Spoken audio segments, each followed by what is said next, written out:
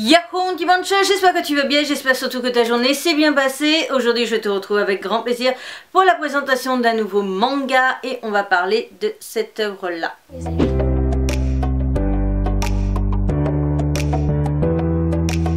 Nous sommes sur un manga en 4 tomes des éditions Kana dans leur collection d'Arcana. Nous sommes sur un seinen dans le genre suspense et trailer. La série date de 2016 au Japon et de septembre 2018 en France. La série s'est terminée en mai 2019. Oui, je sais, je la poste avec du retard, mais la série collait totalement avec la collection Halloween vu que c'est un Hurlement dans les bois. Et donc j'avais envie de te le présenter au niveau de la date forcément de la collection Halloween. Nous sommes sur une œuvre qui est H conseillée aux 14 ans. On attaque cette vidéo donc avec mon avis sur la qualité des couvertures et je te dirais que dans l'ensemble j'ai été énormément satisfait du choix et des illustrations choisies pour l'ensemble des couvertures et j'ai aussi énormément adoré cette harmonie de rester toujours sur le même ton, toujours dans le même euh, les, illustrations, en fait, il y a pas mal de choses qui ressemblent. Le personnage central va être différent, mais on retrouve exactement les presque les mêmes, oui, c'est ça, les mêmes tâches en fait au niveau du sang. On va avoir l'écriture qui est exactement mise pareil au même endroit, la même taille. Euh, voilà, il y a plein de choses comme ça que j'ai su apprécier. On est aussi toujours sur le même fond bleu. À l'arrière, on retrouve toujours une illustration comme ça, mise avec le résumé, etc. C'est vraiment l'harmonie comme ça totale que j'ai su vraiment apprécier. Et aussi le choix des personnages mis en avant, à l'avant ou à l'arrière. Le seul truc honnêtement qui m'a énormément dé... Enfin, qui m'a énormément, ouais, qui m'a beaucoup déçu quand même, c'était au final le choix des quatre personnages que l'on retrouve sur l'illustration. Il y a une logique, certes, mais j'ai trouvé un petit peu ça dommage de ne pas avoir le tuteur de l'idol de présent au niveau des illustrations alors que c'est l'un des personnages les plus importants de la série. Donc voilà. À l'avant, donc pour la premier tome, on voit l'idol en plein concert juste avant que tout commence. Donc ça, j'ai trouvé ça sympa. À l'arrière, on va avoir un des personnages clés de la série. Ce que j'aime aussi énormément, c'est que c'était précisé donc en 4 tomes. Illustration 2, euh, du coup, l'idol, euh, donc encore une fois, mais en nu, et ce qui nous permet de révéler une situation qui se passe vraiment dans le manga. Ce que je sous-entends, c'est qui est réellement l'idol, on découvre vraiment qui c'est, et je trouve que l'illustration est très très bien choisie. Faut avoir le, tome pour comprendre. À l'arrière, on va voir un mélange au niveau des visages euh, par rapport aux deux facettes en fait de ce personnage, de l'idol de la série. Pour ce qui est du 3, on va voir un des personnages clés qui a beaucoup aidé dans l'aventure. Et c'est là où je suis déçue parce que oui, d'accord, on voit les deux facettes de l'idol. Euh, enfin, on voit l'idol en plein concert, on voit le vrai visage de l'idol, on va dire ça comme ça. Ici, le personnage le plus important qui va vraiment beaucoup changer le scénario. Mais c'est vrai que le tuteur a une importance quand même clé dans l'aventure et il n'est pas mis en avant.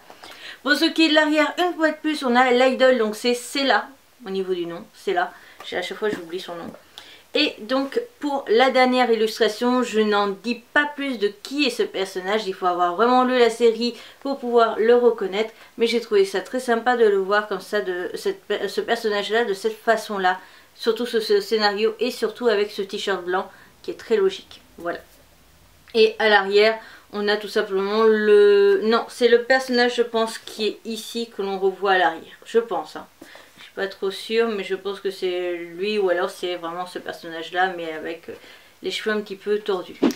On attaque avec mon avis sur la qualité du dessin je te dirais très clairement que j'ai adoré la qualité des dessin, ça va être un j'adore énormément mais ça n'ira pas plus loin parce que je trouve qu'il manque quelques petits trucs quand même mais c'est vrai qu'en même temps on est sur un seinen et non pas un shoujo mais euh, je juge par rapport à l'ensemble, hein, par rapport à un seinen bien sûr mais c'est vrai que si on compare par exemple avec la Chocho, c'est sûr ça n'a rien à voir. Mais la qualité des est quand même plutôt agréable et donc j'ai su l'apprécier. On attaque donc avec mon avis sur le manga, donc à savoir qu'on suit les aventures d'une jeune idol qui est en plein concert en fait, euh, il y a une, une, bombe qui explose et ça lui explose en fait l'une de ses jambes, sa jambe droite.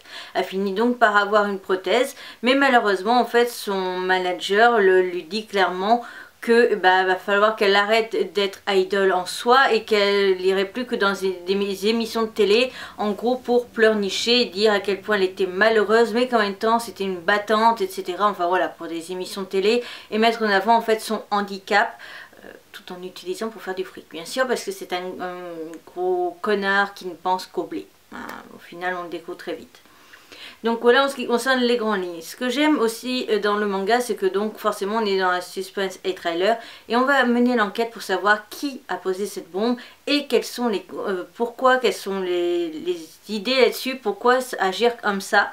Et c'est là que tout commence. On découvre finalement très rapidement, et il me semble qu'on le découvre dès le premier tome presque, que en fait c'est l'idole qui a décidé donc de faire poser cette bombe pour pouvoir agir et changer les choses car elle n'est pas d'accord cette personne avec euh, la façon dont on vit actuellement et qui veut en fait tout simplement changer le monde. Oui, rien que ça, changer le monde entier.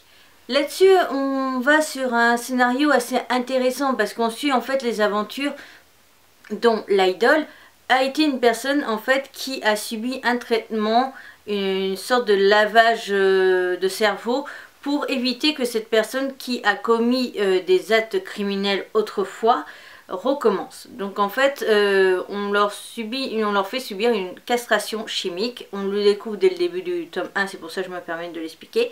Donc la castration chimique, qu'est-ce que c'est? On nous met un casque et à chaque fois qu'on a, euh, on nous montre des images en fait soit de cul, soit euh, violentes.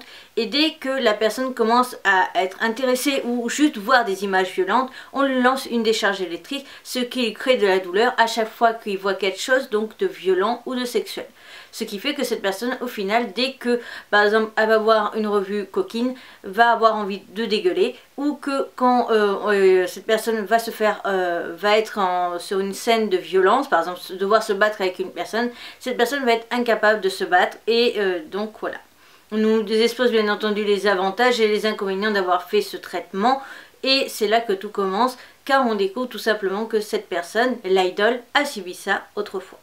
Et oui, ce n'est pas un ange ce que j'ai énormément aimé dans ce manga, c'est qu'au final, on nous montre, on nous expose la série, on nous expose le scénario, on essaie de résoudre l'enquête, mais c'est vraiment à la toute, toute, toute fin que l'on découvre en fait pourquoi cette idole a décidé de faire ça, quel est euh, son choix, pourquoi avoir agi ainsi alors qu'on ne nous l'expose pas spécialement pendant toute l'enquête, ce que j'ai énormément aimé parce qu'au final on ne suit pas réellement les aventures de cette jeune fille mais plutôt de son euh, tuteur qui va aider euh, justement les policiers et tout ça à mener l'enquête car il ne comprend pas non plus les agissements de sa propre amie, euh, donc de la personne dont il s'occupe.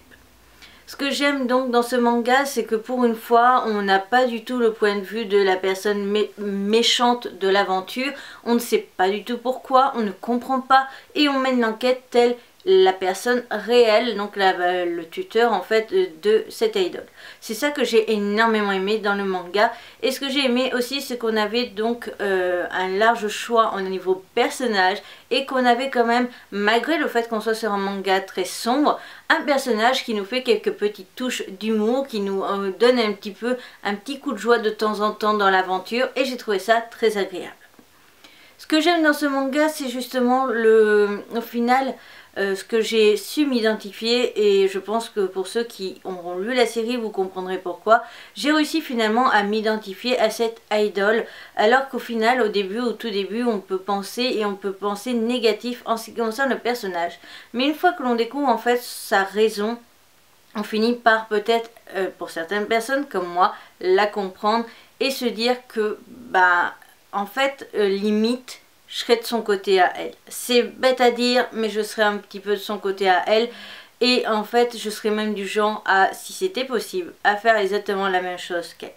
Enfin, je veux pas dire euh, de tout ce qui est les morts qu'elle a fait, euh, qu'elle a créé pour avoir tout ça, pour obtenir ça, mais plutôt la démarche qu'elle a fait à la toute fin du manga et le la, la partie conclusion de l'aventure.